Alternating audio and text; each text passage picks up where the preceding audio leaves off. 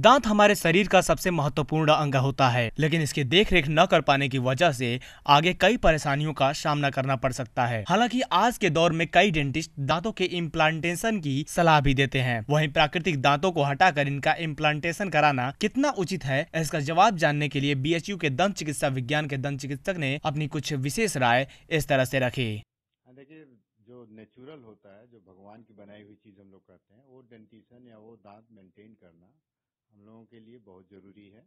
और उसमें कई एडवांटेज हैं कि अगर नेचुरल है तो हर दांत क्या होता है कि हर दांत जुड़ा होता है हड्डी से। हड्डी में कुछ इलास्टिक होते हैं फिर उसका एक, एक रिसेप्शन होता है जो हम लोग ब्रेन से इंटरप्रेट करते हैं। तो उससे दांत की फंक्शनिंग अच्छा होती है। तो पहला तो दांत की फ़ंक्शन अगर नेचुरल है तो दांत का फ़ंक्शन अच्छा होगा।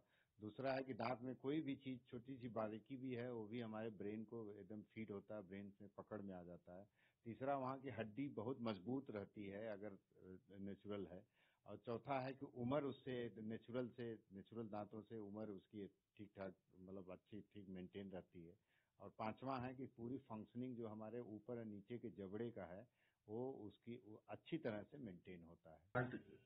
ये इम्प्लांट है जो है। ठीक है? ये भी एक इम्प्लांट है और इधर भी एक इम्प्लांट है जो। इस पेशेंट के मुँह में कोई भी दांत नहीं है। ठीक है? तो हम लोग जो है कि दो इम्प्लांट यहाँ एक राइट साइड में डाला है, एक लेफ़्ट साइड में इम्प्लांट डाला है।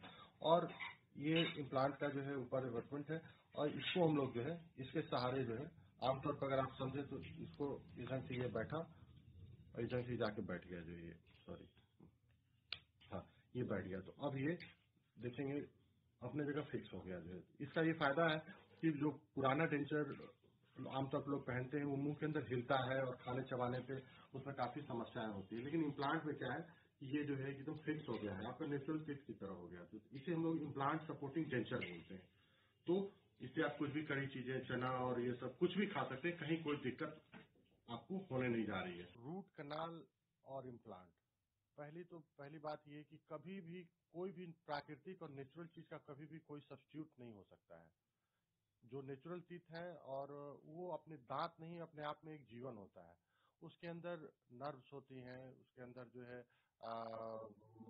एनामेल है, डेंटिन है, पल्प है उसके उसके जो हमारे मुँह के अंदर दांत है, वो पूरा एक, जैसा कि मैंने बताया कि जीवन होता है तो हम जब भी कुछ खाते हैं, चबाते हैं फील आता है और आदमी को एहसास रहता है कि हम खा रहे हैं, चबा रहे हैं तो उससे, और अगल बगल की जो लिगामेंट्स होती हैं मसल्स होते हैं तो खाने पीने पीने पे फिजियोलॉजिकल मूवमेंट भी होता है, जो कि इम्प्लांट में नहीं है।